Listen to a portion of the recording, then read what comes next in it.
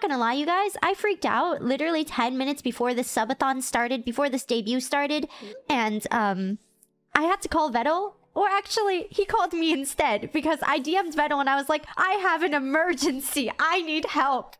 And he was like, What's the emergency? And I was like, Um, I've got a subathon in 10 minutes and I have no timer.